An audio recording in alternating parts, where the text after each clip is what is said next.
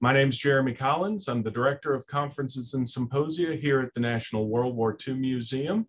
And with us today is a long friend of the museum and supporter who has written quite a remarkable story. This story fits at any time in our calendar year, but we thought it was most appropriate to wrap up our Women's History Month programming here at the end of March.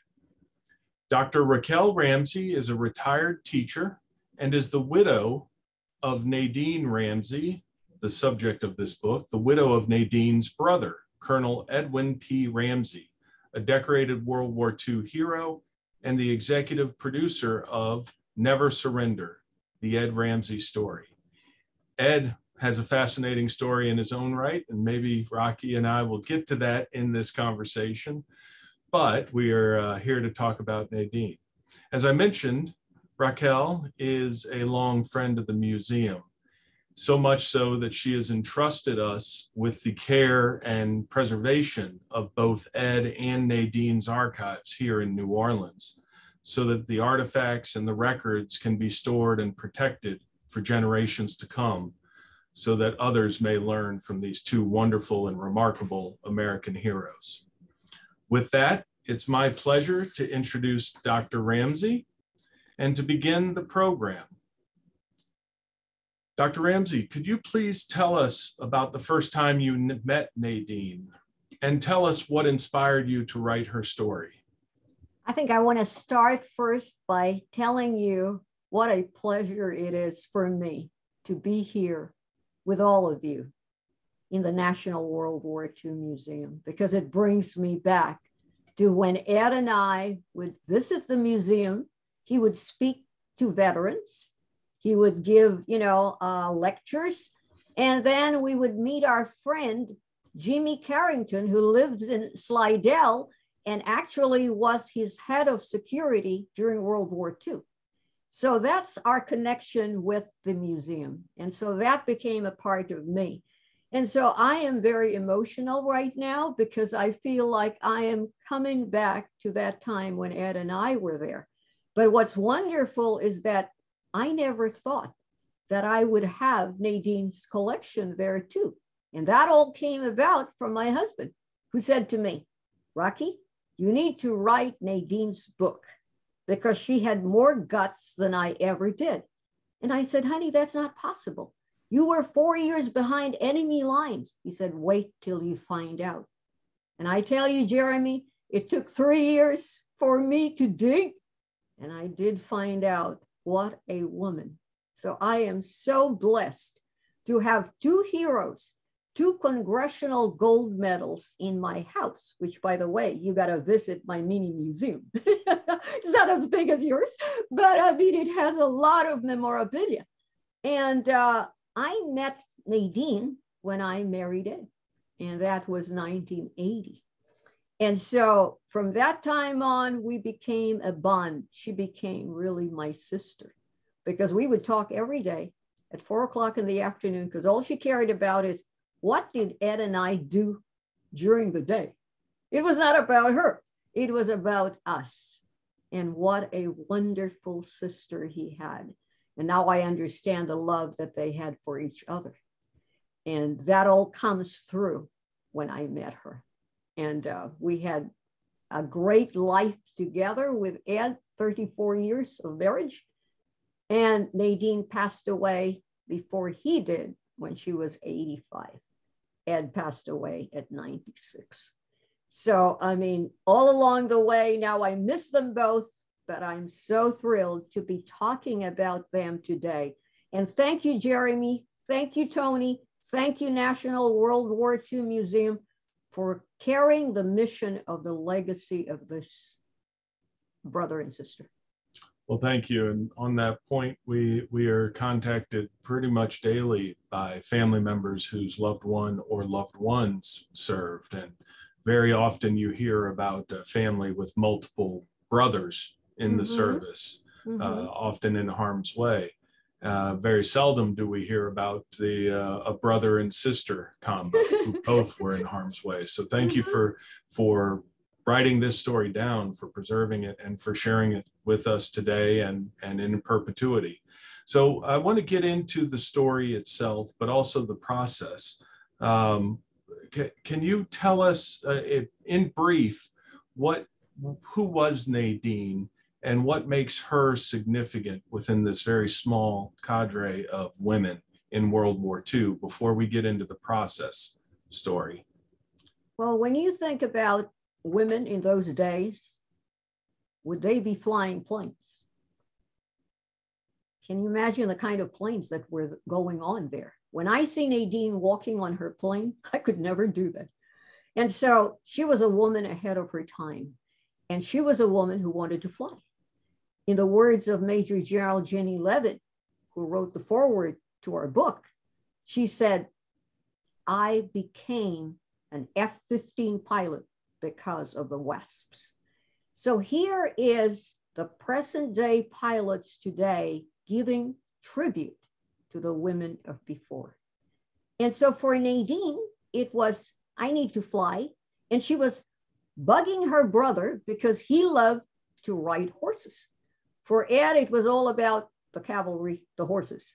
And that is why mom put him in the military academy where they had horses at the Oklahoma Military Academy. And he was happy there.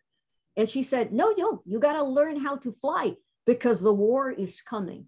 And it was like she had a premonition, and this was true. So for her, she was a stunt and racing pilot. So you can imagine the barnsters at that time, you know, they were barnstorming everywhere. That's what Nadine did. And mom is saying, What? What are you doing? But then she gave her full support. And so she had the support of her brother and the support of her mother, but she was that kind of a woman. And that's why I nominated her to the Women in Aviation Pioneer Award for next year.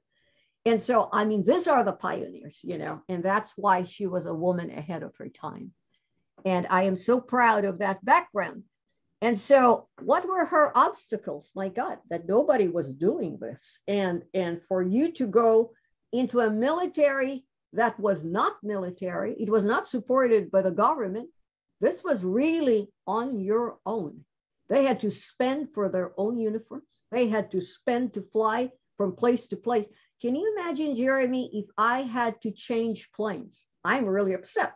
I want to go fly directly to the to the site. She had to go from place to place, pick up the next plane, and from across the United States, bring that plane to New York and New Jersey, and that's where they will bring it to World War II. So these are stops. And all along the way, they would sleep, sleep in the uh, airport or in a hotel outside because they didn't have the money to be able to pay for hotel room or anything like that.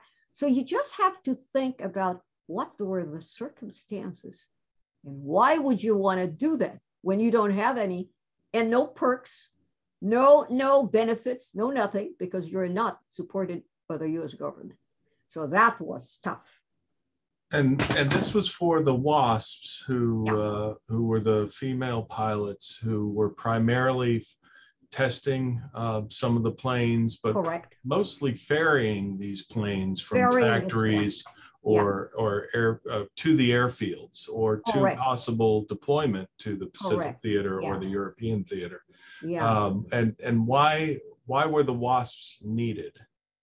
Well, because the men were all at war.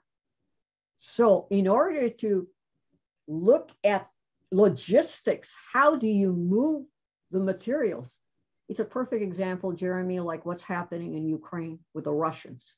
The Russian huge force that's going on there, they're falling apart. Why? Because there are no vehicles that are moving the materials to them. So it is so important at that time when, when they set up the WASP and they created the Women's Air Force Service pilots. We need women because all the men are fighting now, and we need these women to bring the equipment. And they were the vehicle to do that. So they are so vital to the to, to the war effort. Absolutely. Um, let's let's get a little bit into the writing. It, it's sort of history with process here. Yes. Um, it, with this being so close to family, I would think it's it's easy in a way because you have the archives, you knew the the person, you knew Nadine. But I also assumed there would be some obstacles associated with that. Were what were some of the things you had to overcome? Uh, whether it was how deep to dive with Nadine and her story, uh, how intimate of details to provide, uh, to include things that may not be pleasant or that she may not want have wanted shared. But can you tell us about some of the obstacles in in bringing Nadine's story to life? Okay, the first thing is that Nadine was gone. When I did this story, right after Ed passed away, I got involved as executive producer of Never Surrender. So instead of diving into writing her book, I was producing Never Surrender. I said, honey, you're taking a lot of my time. You wanted me to write the book, but I don't have the time. I'm doing this production of your story. And then, so she was gone already. So I could not talk to the person because she wasn't there. That was the number one obstacle. Number two, he gave me boxes. Can you imagine, Jeremy? You got a lot of boxes there in the museum. And every time I would open a box, I would find pictures with no labels. I don't know who the people are. I couldn't even ask Ed because he was gone too. So, who am I going to be talking to? So, I thought, okay, I'll get from the St. Louis, her military archives. And when I was working with my co-author, Tricia Aurand, she herself said, Rocky, what are this? There were piles this high of files on Nadine, which I had no idea. She was Civil Air Patrol. She was commander, teaching the cadets. I never knew anything of this because Nadine never talked about her story. She was so uh, humble. All she carried was Ed, Ed, Ed, my hero brother. And it was not about her. And now Ed has given me a mission and I got to carry that mission, but I don't know how I'm going to do this because I've got boxes, but with no labels or anything. So that was my first obstacle. No people to talk to because they are also gone. What did I have? Ed's children. All right, so I have Ed Jr., I have Doug Ramsey, who is really my partner in everything. Doug is not only a television anchor for years, but also a, an accomplished writer. And, and uh, everything in his background was old journalism and television. So he was great to work with me, and he calls me every night that's my dog Ramsey. I mean, just absolutely top of the line. And then, I mean, so I'm saying, okay, so I got some members of the family. Then I got Tricia, which I was happy. I was happy because Steve Rivele, who was the co-author of Ed's book, Lieutenant Ramsey's War, who, by the way, is two-time Academy Award winner and nominee. He said to me, Rocky, you got to write that book of Nadine as Ed wanted. And I said, okay. So he says, I've got the person that you can work with. And he was his her his prodigy, Tricia Aurand. She's a screenplay writer. And so she had never written a biography. So here are the two of us kind of trying to piece the narrative. So that was the challenge. And then how do you work with a co-author? I've never written a book. I've never, I've taught English for 50 years at Beverly Hills High School and Yeshiva University High Schools of Los Angeles and international schools, but I never have written a book. And that is a whole different story than teaching English. So here we are together, putting together Nadine's story. And Great. Well, so exciting. Dr. Ramsey, I've, uh, my job here is to interact and host the authors, and even those who have published many books say that it's not exactly an easy process. So, um, you you mentioned boxes and stacks of files from the mm-hmm. National Personnel Record Center and from the Family Archives. uh, obviously with uh, with that much material, yeah, there certainly had to have been some aha moments in your research process that maybe you hadn't uh, heard from Ed or Nadine herself or the family in all the years that you've been uh, uh, been part of that family. Can you share with us some of those aha moments, please?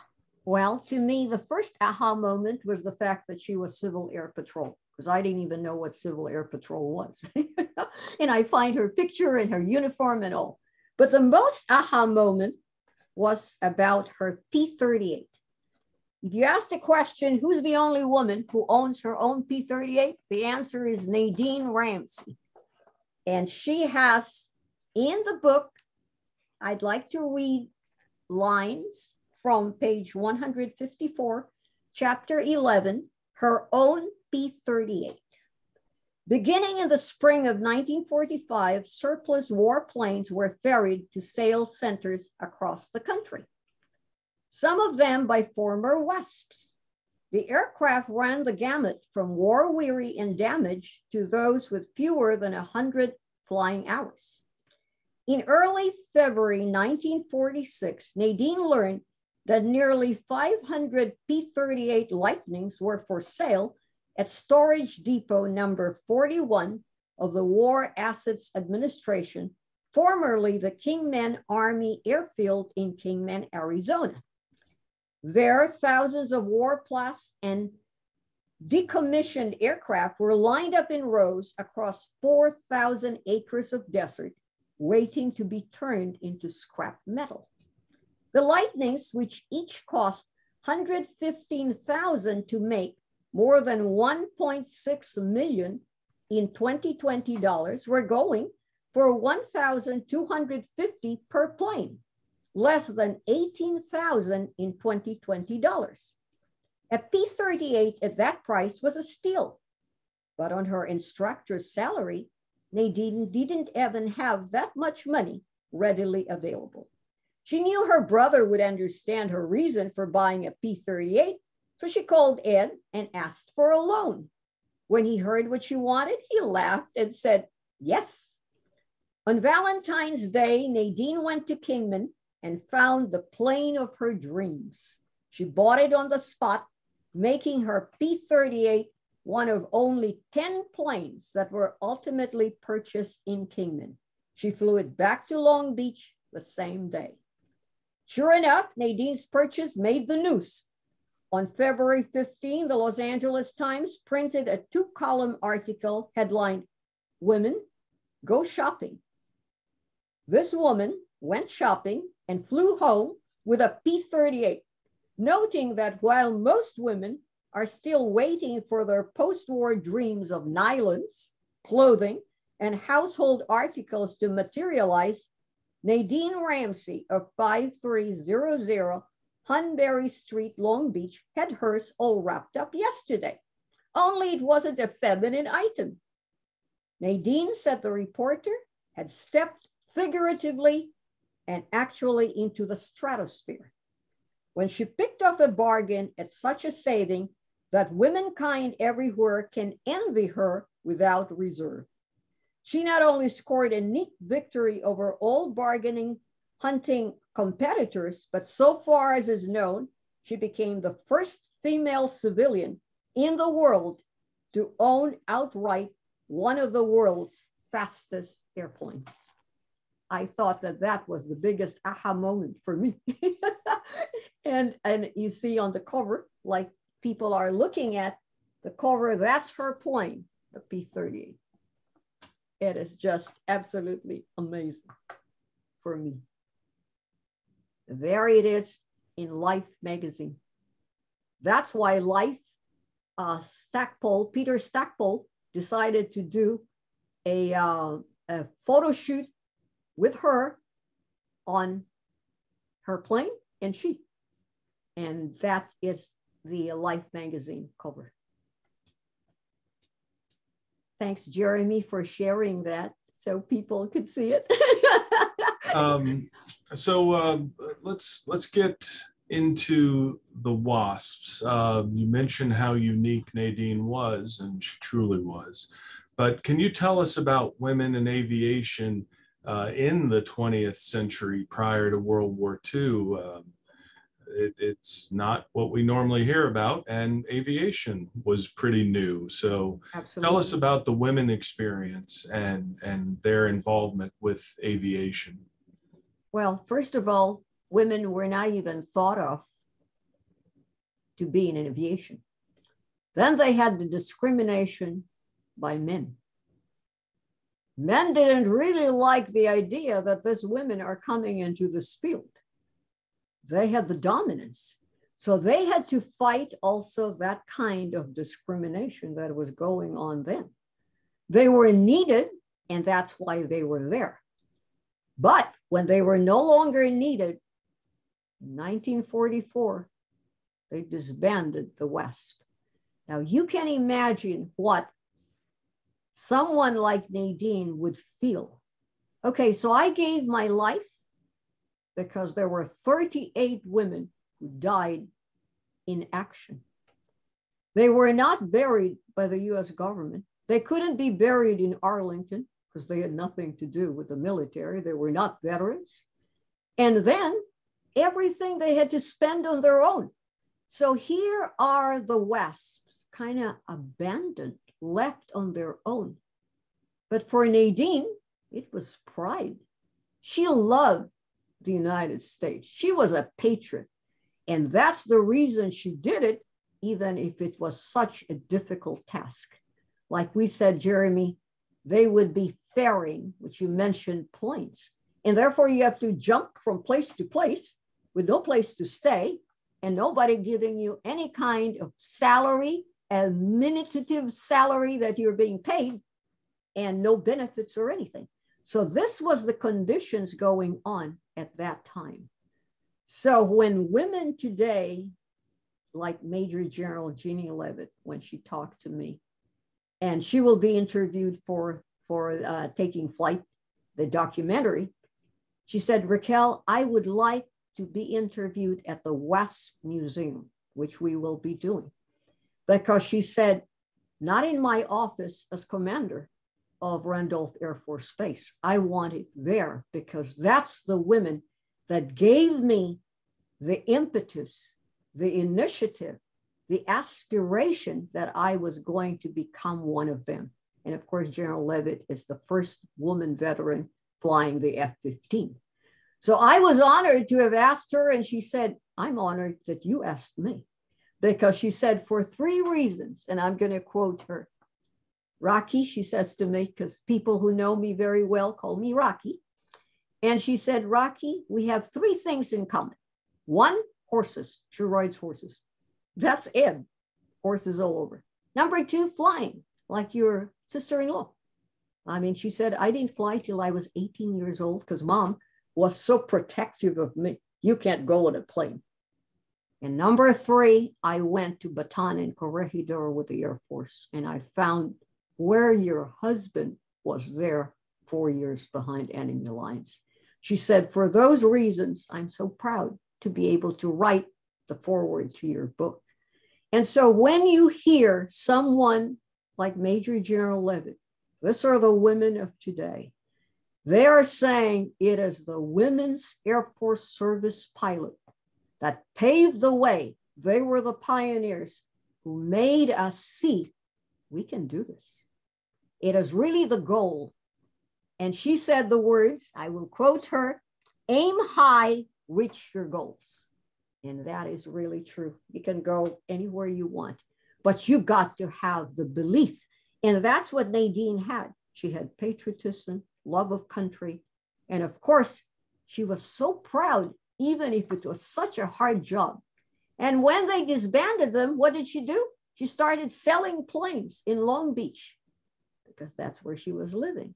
And so here you have the transitions that she made in her life from stunt and racing pilot to Women's Air Force Service pilot, ferrying planes, and then to selling airplanes. And that's basically what Nadine was all about. So, Dr. Ramsey, if we can, I've got a couple wartime questions. Um, okay. You had mentioned the the WASP pilots who uh, who perished in service to our country in World War II. Um, did did Nadine know any of them? And then a, a follow up that I can ask again is, uh, what if any close calls did she have that you discovered on her missions, on her uh, ferrying missions? Perfect. So starting starting with any uh, uh, close personal or professional losses. Oh, Helen Sorensen. In fact, I have the paper where she wrote the letter to Helen Sorensen, and she was devastated. She was so close to this lady, and she perished. So this was a reality check you can die doing this. And yet she pursued, but it really tore her apart. And so, what I did in order to have her and remember her is we made a copy of the letter that Nadine wrote, and it is in the book, writing to her family, Helen Sorensen. Then you talked about, I like your questions, Jeremy, in terms of what happened in terms of your second question, which was so here they are, so sorry about those that died. And now your follow up question, Jeremy, had to do with what, what, uh, could you repeat that? Yes. Uh, uh, did Nadine herself have any close calls, any uh, hard landings, or any mechanical oh, failures? Yes. Anything you came across that was quite? Oh harrowing? yes. In 1940, this is even before she was with the WASP. So she was ferrying the plane, and then it had a downdrift that dragged the plane down, and she didn't want to come down on the on the houses. So she continued, and she was able to make a pretty bad landing, wherein the propeller got out of whack, and she was kissing the propeller. They had it on the news that she lived through that. Then another accident she had they had to cut her foot a little shorter. And they said, We will have to do that. She said, If you take off my foot and I cannot fly, you might as well kill me. She said that to the doctor. And there is Ed, you know, looking after her and all saying, No, no, no, we got to make sure that, you know, she survives again. I mean, this this family are all survivors. I mean, they go through all of this hardships and they survive. And so that was another close call. So I really liked your question because now does it happen to you?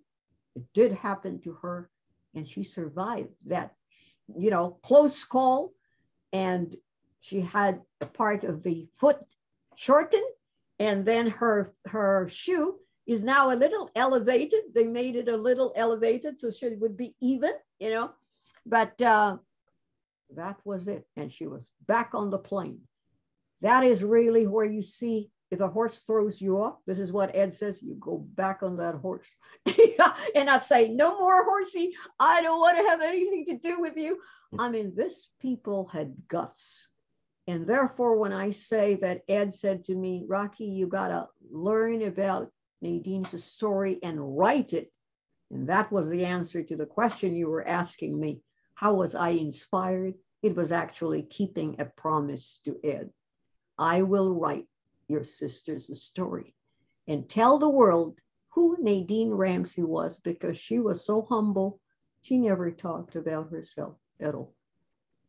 The um, if we could stick in the war time you had referenced. We don't need to go into or share all of Ed's story. That would be a that would be a one-hour webinar in its own right, and maybe uh-huh. we'll have you back for that. But uh, he was behind the lines for four years. He was in the Philippines when the Japanese attacked in December of 1941, and stayed there throughout. You had mentioned uh, James Carrington, Jimmy Carrington, who led a band of Filipino guerrillas. Correct. Um, what did Nadine know about Ed's situation? Was there any or or any communication at all, or was it non-existent?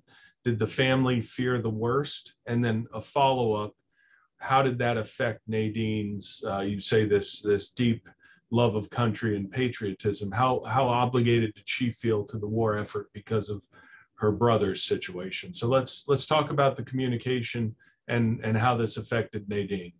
Well, let me tell you, when you are behind enemy lines in the cavalry, Mom, Nell Ramsey, and Nadine Ramsey didn't know if Ed was alive or dead.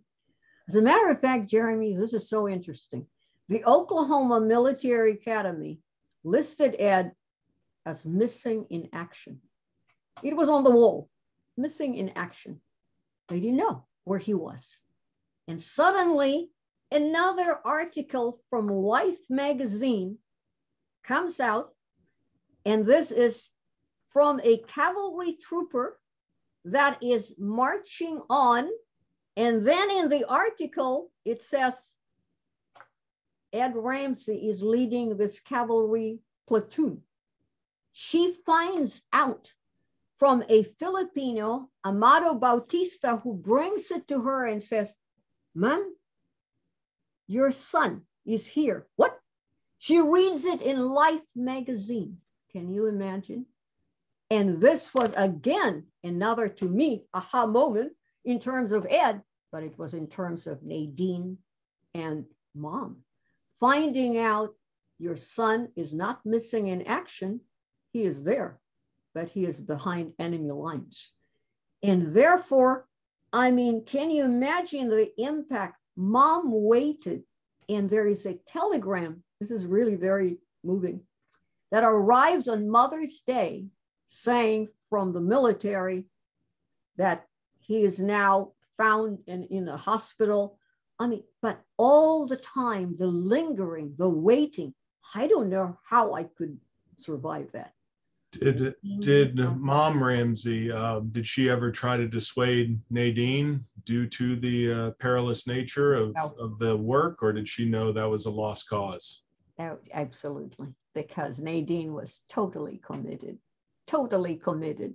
This is my life, not just flying, but flying in peril. I mean, you know, if I would just have fun going up in a balloon, you know, but this is wartime and you're going in the circumstances. I mean, it just proves the kind of patriotism that both all the family had, but it was Nell supporting her children. And that's what I call is love. What kept them all together? Love. Love of mom, love of sister.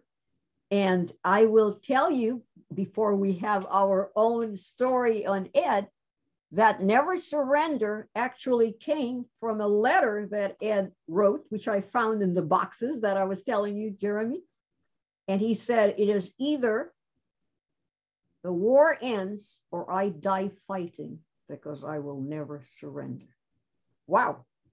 I couldn't sleep that night. I said, I'm not opening boxes at night anymore because I can't sleep after reading it. And that's what Vanilla Fire used as the opening and the title of the film, which is a documentary of Ed.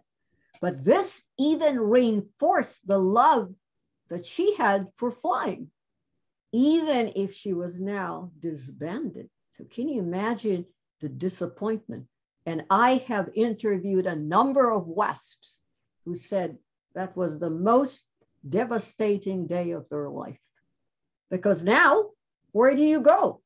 There is no benefits that you got nor anything. And you lost your path. Your path was there. And they took it away from you when you gave your life for your country. It's really tough and so this is at the uh, towards the end of the war and after the war the, mm-hmm. uh, the need for female pilots to 44 serve in, it happened in 44 mm-hmm. uh, the need to uh, fill the gaps that uh, were caused by the men being overseas flying combat missions uh, that the women were no longer needed as the men began coming home and and the ferrying missions ended um, did how did this make Nadine feel about her military service? Uh, this the you've mentioned a number of times the the patriotism. Um, did she have a bitter taste in her mouth about her service, or about just about the treatment of the Air Force, the Army, and the government towards the women, uh, the WASPs? She never had that kind of feeling, which many other women did, you know, because she had a brother, which she felt she was supporting, you know. Here is Ed. I mean, having a brother that has gone to war. So she felt, well, this is part of the war effort. If you don't need me anymore. But there was also disillusionment, you know. It's like this was my job, and now you have taken it away from me. And at the same time, you haven't given me any recompense. So, what do you work for now? You work for the West, became a big unit. Let us go for veterans status. Let us go for recognition. Let us go for being buried in Arlington. And I want to tell you, Jeremy, all of those have been achieved.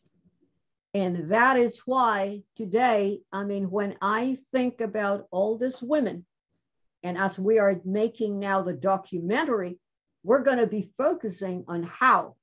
When did they become veterans? 1970. I mean, so step by step, and then comes the Congressional Gold Medal. As a matter of fact, Nadine got her Congressional Gold Medal before it because uh, President Obama signed that in 2010. And so it was given to the West. So Ed and I received that. And what was so interesting is that General Leavitt was at the back of the room. I had no idea who she was. And she said to me, Wow, there is Nadine, you know, among all. She didn't know who Nadine was or anything. But to me, this was the significant move that finally the government recognized them with a congressional gold medal. And so to me, that's priceless here in the house. Then my husband got his after from the Philippine Scouts, the Congressional Gold Medal. Of course, he had received the Silver Star, the Distinguished Service Cross. I mean, all of those from General MacArthur. But I mean, this recognition from Congress of this women came now. Now, uh, on the point of recognition, they obviously, after the fact, decades later, have been recognized and celebrated. Um, perhaps not not enough, but much more so. Mm-hmm. Uh, during the war, you have mentioned a few news articles um, mm-hmm. just about Nadine herself. How how were they covered? How were they treated while the war was going on and they were truly needed for the war effort? Were they were they celebrated? Were they uh, sneered at for being women doing a man's job? How was uh, how well? They called them. Some of the articles went lipstick pilots of World War II. Okay, of course Nadine always wanted to put lipstick on her lips. I mean, she would do that every time she would get into the cockpit. That's what they were. So there was a little bit, oh, especially with the men, there was this jealousy. Know, what are these women getting into our field and all? But you had Rosie the Riveter. I mean, all these women ahead of her time getting into all these areas. That's how Nadine got into Lockheed Martin and all of these companies that were selling planes. So they were, in one way, thanked for the service that they did, but they were not really elevated to the point of what the Congressional Gold Medal was. This was real recognition for the job you did. And man, did you do it so well. You know, it was absolutely fantastic. That was the height of the uh, uh, recognition. The, um, the, you you mentioned Nadine had uh, had not well I guess in a way she had gone back to her pre-war life. Mm-hmm. Uh, many of the women because there were very few if any opportunities did indeed have to revert to their civilian life and, and stop flying. Um, Nadine sold planes. Can you tell us a little bit about her, her post war life uh, as it pertains to planes and personally? Uh, tell us about what happened after the war when she got out of the WASPs. So, for her, her home was Long Beach because that's where she started with uh, BJ London, who was her commander of the ferrying here in Long Beach. So she moved from what was Kansas, now she is in California. She became a Californian, she became a Long Beach resident, and she lived there all her life. up to the time I came into their life when I married Ed, which was 1980. So we would visit her. I mean, here she was, you know, never focusing on what she had done before. For her, that was the past. So much so that I couldn't find any of her logbooks or anything, because that's where I began to see the resentment she had. Some of the pictures, she cut them up. And I tell you, now I began to realize that even if she didn't say it openly, it hurt her very much. I'm no longer flying. What kind of life do I have now? So, along the way, she married. In fact, she writes in the West newsletter that the worst decision she made was on men. she married three times and always pilots. So she said, Wow, that doesn't show what good judgment I have because every time I select a guy, it's always goes awry, you know? So she got married, they didn't have any kids. So she continues her life selling planes in different setups. One of them was right here in Long Beach. She became president of her company. She's on the newspaper selling planes and with BJ London, who was her commander of the WASP. They became best of friends. So when we were visiting Nadine in her later years, BJ London would be there, her best friend, and she would chat with her. They would give her certificates from Long Beach and all, honoring her together with the WASP. So that was just back to your plain, simple life of living every day. But yet she had a part of that resentment because I saw that she didn't keep any of the log books. And she tore up so many of those pictures. I was pasting them together and get, being able to get them, you know, into one piece. So there is where you feel what she was feeling because she didn't openly say anything of that to me at all. Not one word how the government treated me, not one word. And I, what was so interesting is that Ed fought also for the Filipinos' rights and privileges. We went to Washington three times and spoke in front of Congress. So he saw that with the injustice of his sister. And now it was him and the Filipinos who fought with him side by side, the Philippine Scouts, because Ed is 26th Cavalry Philippine Scouts. So here he was again fighting for the rights of those that were oppressed. But Nadine was there with the West, trying to get the veteran status, trying to get like the 99s, which is another organization. And so, being part of those organizations, Nadine made her uh, spill about what the West needed in terms of recognition. She was there. You you reference her uh, her post-war relationship with pilots, three of whom she married. Mm-hmm. Did you mm-hmm. did you come across any uh, any notes, records, or or entries regarding her reception, her interaction with any of the male pilots during the war? I would assume it wasn't universally bad nor universally good, but can you tell us about some of her uh, uh, her interactions and and maybe how she and her fellow wasps were received with? with well, she was pilot? a lot older than the other wasp, so she was really regarded very highly by the men. She got along very well with them. And in fact, she never complained about, you know, how they treated her. They treated her very well. And General Hap Arnold, who was in charge of the thing, she was under Nancy Love and Dorothy Cochran. So you have this two teams. She was with, with uh, Nancy Love.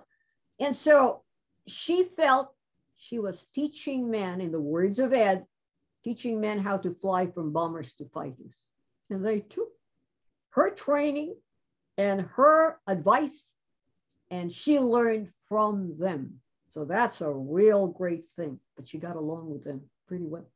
Great. Um, mm-hmm. um, I'm not ready to open it to the full audience yet, but you just mentioned General Hap Arnold. And one of the questions I think your answer to this question might address General Arnold some. Uh, the question comes from Billy. Could the WASP women join the Army Air as pilots? Can you explain a little bit about what the designation was, why they were not uh, officially militarized or recognized during the war? The real reason was because they felt that they were just asked to come in because of need. So, in other words, you're not really officially part of the Army, nor of the Air Force, nor of the Army Air Force. You are here as volunteers. Okay. We need women to ferry planes. Okay. You're great flyers and you love to fly. Okay. Will you give your services? And they did. But there was no intent nor desire to embody them and make them part of the Army Air Corps. The, um, the similarity that I see is sort of like civilian contractors uh, that have been so heavily utilized over the last 20 years with our, our nation's conflicts. Uh, right. That uh, they they did not have to. They were serving the country. They were assisting the military. Um, obviously the civilian contractors that are overseas are on the battlefronts, but that doesn't negate the uh, the dangerous nature of flying these planes. Uh, right, right. A um, uh, one of the questions I have, and I hope I don't get ahead of the audience. You know, we've we've talked about P-38s. Were there other mm-hmm. planes that Nadine flew when she was ferrying? What was the smallest? What was the fastest? What was the biggest? Well, she flew the P 51 Mustang. Favorite plane of one of her classmates that I interviewed, Jean Landis. In fact, she made a video of herself on that plane. Nadine flew every military aircraft that existed at the time. Very rare. And for the P 38, there were only eight women that flew that. And that is the reason why in my mini museum, and it's also in the book, the painting that shows the women, you know, autographing, actually, the eight women were autographing this uh, painting, young and invincible. And that was portraying the P 38 because there were very few that were capable of flying that. They were really, you had to be very, very good in terms of being able to fly that kind of plane. But she was used to flying every military aircraft available. That's what makes her a pioneer. Um, we have a question here, um, and it looks like it goes to the pre war years. Did Nadine have any involvement with the Women's Air Derby? Yes, not specifically the Derby, but she was a, a stunt and racing pilot. So these were the barnstorming women. She was not specifically a part of them, but she did that for shows. So she would go, the people would look at the audience and, you know, do the, uh, the, uh, the uh, program going, but she was not specifically a part of one group at that time, which were barnstorming. But she did it because she was a stunted racing pilot. That's where she began, you know, her loving to fly. My uh, my own follow up to that is um, many of the uh, famous pilots and commanders of the Army Air Force in World War II. Uh, they were barnstormers before. Uh, mm-hmm. Did she did she have any interaction? Did she come across them at any of these derbies or or was they were they on a separate circuit? They were in a separate circuit. Okay. Mm-hmm. Did she have any wartime interactions with the General Arnolds of the world or the Jimmy Doolittles or Paul Tibbets?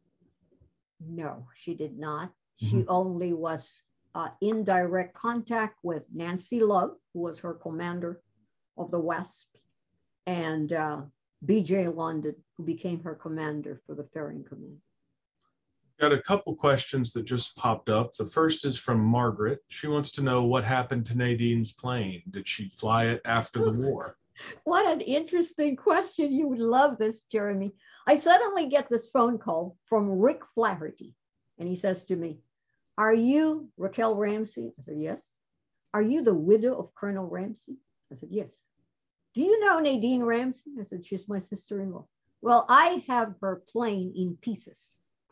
And he says to me, Okay, we're going to put the plane back together and it will be placed in a museum and Paul Allen from the museum in uh, Colorado loves P-38s.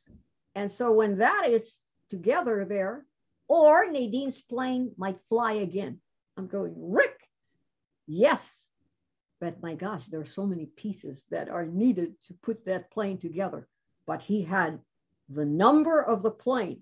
And in the book, you will see the fuselage and everything that was discovered, she had already sold the plane after because she couldn't keep with the fuel and all of that that was going on. And it was a couple that crashed with the plane. But he had bought it. And Rick Flaherty was the commander of uh, the F, the uh, the uh, stealth fighter in uh, in uh, in the base. And he says to me, Rocky, her plane will fly again. I said, Really? You're putting it together? He says, No, the restoration will do that. And I have no idea when that will happen. So that's a real interesting question. And I'm glad they asked. Yes. Great. Uh, question from Tim on Facebook. It refers to a, uh, a wartime film, uh, A Guy Named Joe, starring Spencer Tracy and Irene Dunne. Mm-hmm. Um, Dorinda, who's the female character, uh, flew a P 38. Are you aware of the film? I watched the film a couple of times because I love Spencer Tracy. and I love the film Joe. And she was, to me, it was like Nadine was right there, you know, flying the plane. It was a terrific movie. I really liked it so much. And that was already a film that was telling you what women were able to do in those days and he was all champion of her, you know, uh, Spencer Tracy. So I love that film. Absolutely. The guy, um, Joe. yeah, I, I, recommend it as well. It's um, it, it is one of those that has a message. It's not just a good story, mm-hmm. but it mm-hmm. wanted mm-hmm. to show the contributions um, to to give credit to the women who were contributing, but also to maybe encourage and inspire other women to uh, join the war effort in whatever way but uh, it, it's a, a great film all around. Gary writes, growing up in Kansas, what was the first plane she soloed on? Oh, it was a Velie Monocoupe. In fact, there's a picture of her in the book. She did the solo in six hours and got the license. She was one of the fastest learning pilots she would uh, do this. And then, of course, she posts in the picture. And we have that in the book. It was a Valley Mini Coupe. Great. Um, Malcolm wants to know how many WASP pilots were lost during the war. And after D Day, were any pilots, female pilots, given permission to fly all the way to England? Can you tell us a little bit about the uh, the ferrying? What was the reach? You had mentioned New York and New Jersey, but did they go beyond the borders? Yes. Let me answer that second question. You know, yes, they went beyond the borders. In fact, Nadine was also ferrying in Canada. She lived with her husband in Edmonton, Canada, and was ferrying from there. So they were all over the world. A number of women went to Europe and to uh, Canada, and what Nadine did in Canada. So it continued there. And then you mentioned that your first question had to do what what Malcolm was saying. Yeah, how many WASP pilots were lost during World War II? 38. And they are honored in the WASP Museum in a big, uh, you know, uh, tribute and it is right there at the very entrance of the museum. Of course, now they have remodeled everything because Ed and I visited that in the 1990s with our motorhome. And we found a sketch of Nadine on the wall. And of course, now all of this are all brand new hangars that have just opened up at the West. So this will be captured by Vanilla Fire when they fly there April 28 to 30 for the 80th anniversary.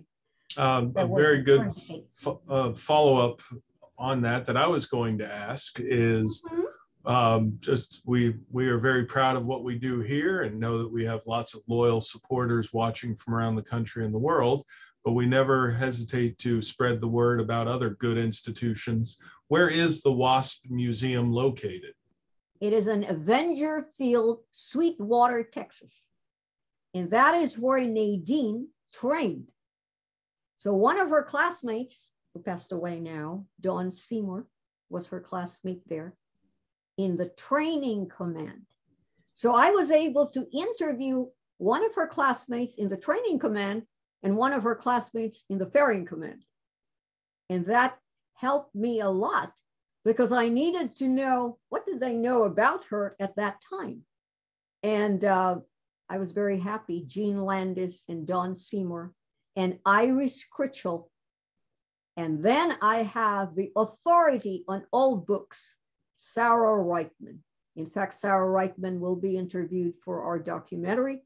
Sarah Rickman has written about 12 books on the West.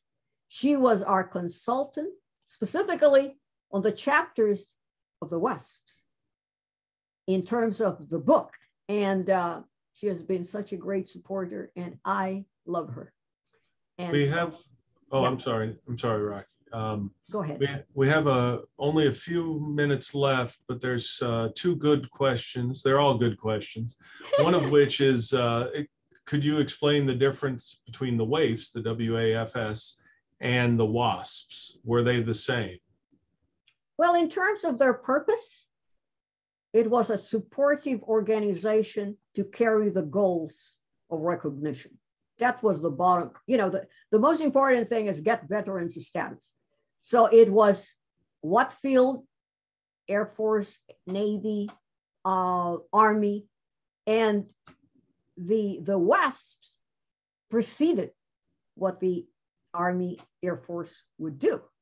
So for them, it was really recognition of the past more than now, today, what the WAFs do. And the WAFs were written about by Sarah Rickman in the first book that she wrote, The Originals. And Iris Critchell, that I interviewed her also, and she's there in one of the pictures with Nadine signing Young and Invincible, the painting. I mean, those are just to me priceless, priceless moments. Um, and with BJ London. Mm-hmm. I'm gonna I'm gonna ask two quick questions. One of them will be a longer answer, and that's what we'll end with. Uh, Cheryl, who's watching on Facebook, wants to know: Is a book for younger readers being considered? regarding Nadine's story, or do you have a recommendation for younger readers? Well, as a matter of fact, we are trying to get the story from Melissa Greenblatt, who is uh, the daughter of our best friend for 50 years, Dick and Sue Greenblatt. She's like my sister, Sue Greenblatt. She wanted to do a children's book with pictures and sketches and all. And that's what we're working on in terms of so a children's book that will inspire young girls to become But I would like to say to anybody, if you get a hold of some of the books, there is one book that Sarah Rickman wrote, which was on BJ London, and it was specifically a biography of her, but it was written for younger readers. So that would be my recommendation. Thank you. I want to bring the uh, the program to a conclusion with a final question, going back to our subject of Nadine, uh, but also back to her origins. Joanna wants to know, could you talk more about her early life and what prompted her desire to learn to fly? Well, she was a Kansas girl. And I want to say that the biggest thing that touched me was that the University of Kansas Press took my book and published it there. To me, that was full circle this was her hometown. She was just living a, a difficult life because they went through the depression and all, but it was ingrained in her, not from mom, not from anybody. It was in her that she wanted to fly. She would run out of school and, and mom would say, What? She's not attending class? Because she was training to fly. And some of the best aviators were part of her of her teachers at that time. So she already had that, but it was a an ordinary life, difficult life in Kansas. But she found ways that she would be able to have some money to be able to fly, hidden from her mom, because her mom didn't even know that she was flying. But that is true desire and goal, and she did it. Well, Dr. Ramsey, uh, Dominic, I think concludes this well with his comment. Awesome talk.